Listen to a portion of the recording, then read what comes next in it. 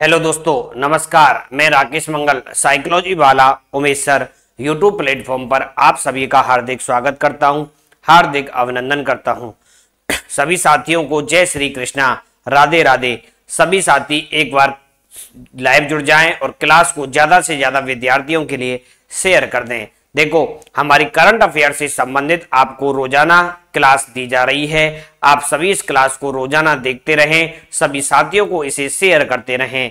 आपको इसके अंतर्गत राजस्थान से संबंधित और राष्ट्रीय परिदृश्य दोनों के प्रश्न यहाँ पर दिए जा रहे हैं। बहुत डिटेल से चीज़ें आपको प्रोवाइड करवाई जा रही हैं, आप इनका फ़ायदा ले सकें, ठीक है? सभी सेशन को शेयर कर दें। ओके हम स्टार्ट करते हैं आज की करंट अफेयर से प्रश्नों पर चर्चा करते हैं।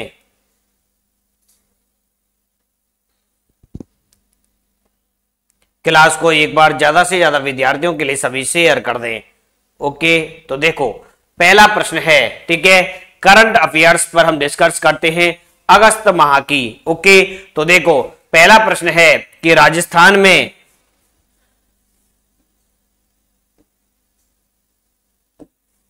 राजस्थान में हस्तशिल्प और हथकरघा जो निदेशालय है, इसके गठन को मंजूरी मिल चुकी है। यानी राजस्थान में हस्तशिल्प, ठीक है हाथ से निर्मित वस्तुओं के लिए, ठीक है, हथकरघा निदेशालय के रूप में गठन को मंजूरी मिली है हाल ही में जोधपुर ज़िले को। यानी हस्तशिल्प और हथकरघा निदेशालय की स्थापना की जाएगी कहाँ पर? जोधपुर ज़िले के अंतर्गत, ठीक है, और ये मंजूरी दी है उद्योग और वाणिज्य विभाग के द्वारा, ठीक है, यानी हमारे यहाँ पर जो जो हमारे राजस्थान के अंतर्गत जो भी चीज़ें हैं, बनती हैं, हाथ से निर्मित हैं, ठीक है? उनके क्या है, प्रचार प्रसार के लिए, उनको बढ़ावा देने के लिए, ठीक है? ये हथकरघा निदेशालय है, इसके गठन को मंजूरी दी गई है जोधपुर ज़िले के अंतर्गत, और ये मंजूरी उद्योग और वाणिज्य विभाग के द्वारा दी गई है। क्लियर इसका उद्देश्य क्या है? इसका उद्देश्य है, हमारी राजस्थान में विलुप्त तो हो रही हस्तकलाओं को पुनर्जीवित करना। यानी हमारे राजस्थान के अंतर्गत जो जो हाथ से निर्मित चीज़ें हैं, वो उनको लोग भूल चुके हैं। तो उनको क्या है? उनको पुनर्जीवित करने इनका लक्ष्य है। क्लियर? और राजस्थान हस्तशिल्प नीति आई थी। राजस्थान हस्तशिल्प नीति 17 सितंबर 2022 को आई। उसके क्रियान्वयन हेतु भी, ठीक है? इस निदेशालय के गठन को मंजूरी दी गई है हाल ही में जोधपुर ज़िले के अंतर्गत। क्लियर हो गया? अगले प्रश्न की तरफ़ चलते हैं। अगला देखो। अब देखो, उदयपुर वर्ल्ड फेस्टिवल इसका आयोजन 2023 में तो हो चुका है। अब देखो, इसका उदयपुर वर्ल्ड फेस्टिवल का जो आयोजन है, वो 2024 के अंतर्गत किया जाएगा। 11 से 14 जनवरी 2024 को, ठीक है? उदयपुर वर्ल्ड फेस्टिवल जिसका कौन सा संस्करण है? यानी उदयपुर वर्ल्ड फेस्टिवल का संस्करण है दसवा। ओके और इसका आयोजन 11 से 14 जनवरी 2024 को उदयपुर के अंतर्गत उदयपुर वर्ल्ड फेस्टिवल का आयोजन किया जाएगा। इस प्रश्न को भी थोड़ा सा आप याद रखें। उदयपुर वर्ल्ड फेस्टिवल 2024 में इसका आयोजन किया जाएगा। और संस्करण यदि आपसे पूछे तो यह है दसवा संस्करण। ओके, अगला देखो। ये देखो, चंद्रमा के दक्षिणी ध्रुव पर उतरने वाला भारत विश्व का कौन सा देश बन गया है? तो चंद्रमा के दक्षिणी ध्रुव पर उतरने वाला भारत विश्व का प्रथम देश बन गया है। ठीक है? विश्व का पहला देश है, जिसने चंद्रमा के दक्षिणी ध्रुव पर सफलता पूर्वक लैंडिंग की है। तो ये भारत क्या है? इस प्रथम देश हो गया है। क्योंकि प्रश्न इसी प्रकार से पूछा जाएगा कि चंद्रमा के दक्षिणी ध्रुव पर उतरने वाला भारत विश्व का कौन सा देश बना है? तो याद रखना है तो भारत बना है, विश्व का प्रथम देश बना है। यानी देखो, भारत का जो चंद्रयान थ्री मिशन है, ठीक है? चंद्रयान थ्री मिशन इसने चंद्रमा के दक्षिणी ध्रुव पर 23 अगस्त 2023 को सफलता पूर्वक लैंडिंग की है, ठीक है? और प्रधानमंत्री नरेंद्र मोदी जी ब्रिक्स शिखर सम्मेलन की ब्रिक्स शिखर सम्मेलन में गए थे जोहान्सबर्ग दक्षिण अफ्रीका में, और वहाँ से उसने पूरे देश को शुभकामनाएँ दी। यानी जो इसरो के वैज्ञानिक हैं, जिन्होंने इसका निर्माण किया, मिशन चंद्रयान थ्री ठीक है, उनको बधाइयाँ दी, पूरे देश को शुभकामनाएँ दी, ठीक है।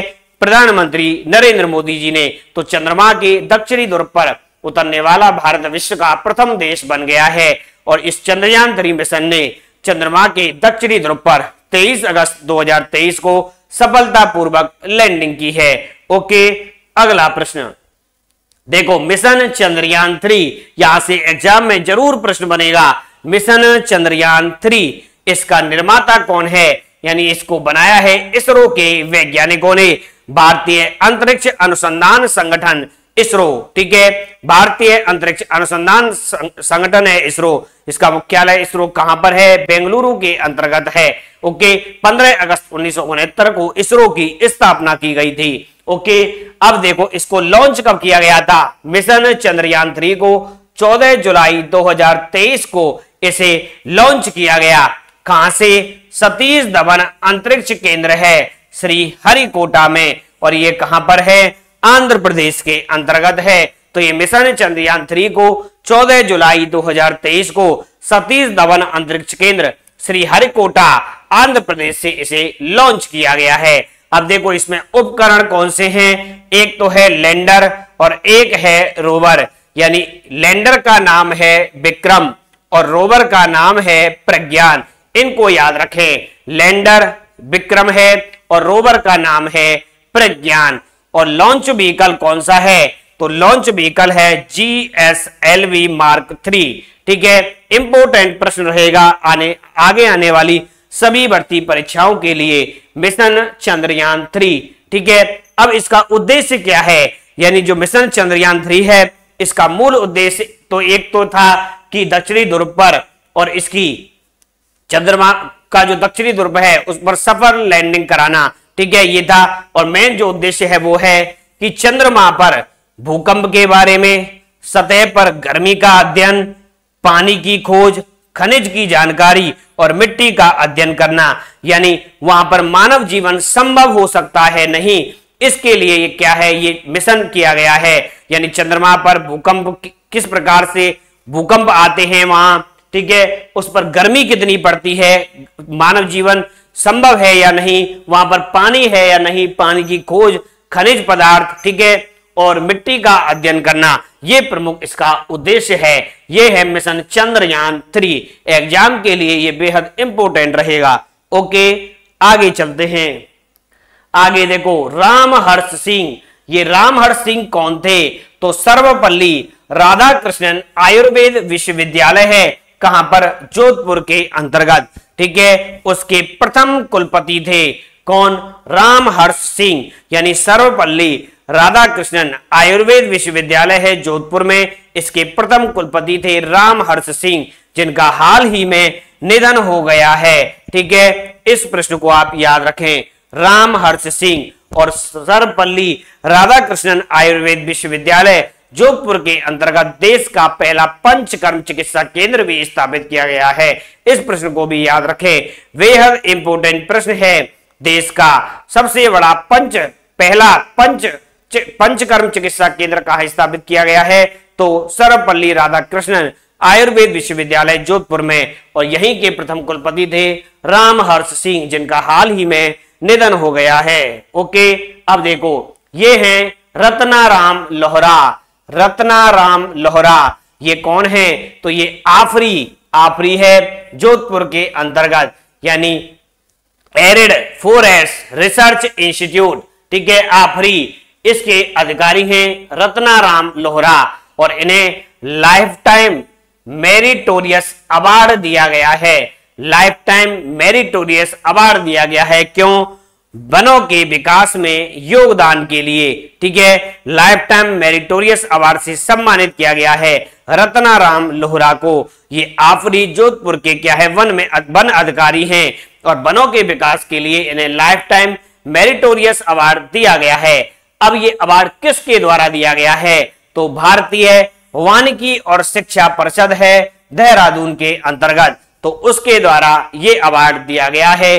जो ये अपने हैं, आफरी जोधपुर के अधिकारी हैं, रत्नाराम लोहरा। ठीक है, इन्हें लाइफ टाइम मेरिटोरियस अवार्ड से सम्मानित किया गया है। ठीक है, भारतीय वानिकी और शिक्षा परिषद देहरादून के द्वारा। अब देखो अगला। स्वच्छ वायु सर्वेक्षण, यानी स्वच्छता के सर्वेक्षण किया गया है। उसमें नंबर वन पे हमेशा जो आ रहा है, इंदौर जिला। ठीक है, इंदौर शहर जो है, पूरे भारत के अंतर्गत लगातार ये शायद छठवीं बार आया है। यानी इंदौर दस लाख से अधिक जो आबादी वाले शहरों में, ठीक है, फ़र्स्ट नंबर पे आया है इंदौर, मध्य प्रदेश का, ठीक है। स्वच्छ वायु सर्वेक्षण रैंकिंग 2023 जारी की गई, जिनमें स्वच्छता के मामले में सबसे नंबर वन पे आया है इंदौर। ये हमेशा आता है और ताजुब की बात देखो सेकंड नंबर पे आया है आगरा, जहाँ बहुत ज़्यादा गंदगी रहती थी। अब वो आगरा, इसमें दूसरे नंबर पर आया है ओके, और तीसरे नंबर पे आया है ढाणे महाराष्ट्र का। ठीक है, ये आपको याद रखना है। अब ये स्वच्छ वायु सर्वेक्षण क्यों किया जाता है? प्रदूषण पर नियंत्रण के लिए। ठीक है, प्रदूषण नियंत्रण के लिए ये रैंकिंग जारी की जाती है, स्वच्छ वायु सर्वेक्षण। और स्वच्छता के मामले में नंबर वन पर आया है, दस लाख से अधिक आबादी वाले शहरों में, इंदौर जिला, मध्य प्रदेश के अंतर्गत। सेकंड नंबर पर आया है, आगरा, उत्तर प्रदेश के अंतर्गत। और थर्ड नंबर पर आया है ढाणे महाराष्ट्र का। ओके आगे चलते हैं। बीकानेर। तो देखो, ये प्रश्न भी इंपोर्टेंट है। पहली वर्चुअल हाई कोर्ट की बेंच खोलने की घोषणा की गई है। यानी वर्चुअल हाई कोर्ट का मतलब है, वहाँ पर आपको जाने की आवश्यकता नहीं होगी। आपके नेट के इंटरनेट के माध्यम से ही वीडियो कॉन्फ्रेंसिंग के माध्यम से ही आपका जो केस है, उसकी सुनवाई चलेगी। ऐसा पहली वर्चुअल हाईकोर्ट की बेंच खोलने की जो घोषणा की गई है, वो हमारे बीकानेर ज़िले के अंतर्गत की गई है।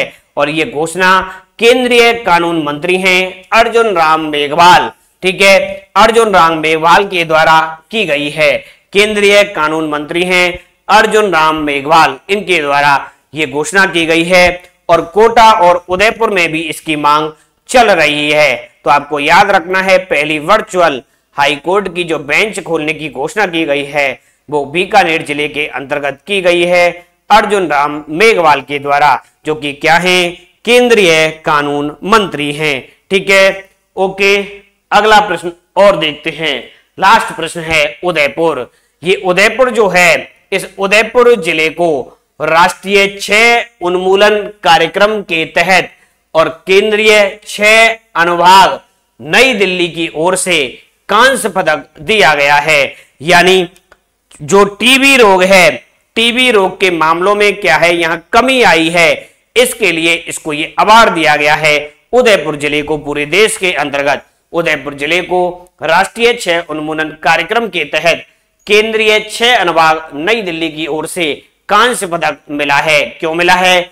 वर्ष 2015 की तुलना में और 2022 में यहाँ पर छह रोग की दर में 20 परसेंट से 40 परसेंट कमी दर्ज की गई है। इस कारण उदयपुर ज़िले को यह कांस्य पदक दिया गया है और पूरे देश में इसको तीसरा स्थान इसमें मिला है। हमारे राजस्थान का जो लक्ष्य है 2025 तक इसको क्या है, टीबी मुक्त करना है। ठीक है? टीबी से मुक्त करना है 2025 तक। ठीक है? तो ये प्रश्न थे हमारे आज के करंट अफेयर्स के प्रश्न। ठीक है? सभी को क्लास कैसी लगी? ठीक है? बताएँ कमेंट करके और सभी इस क्लास को रोज़ाना देखें। आपको फिक्स साथ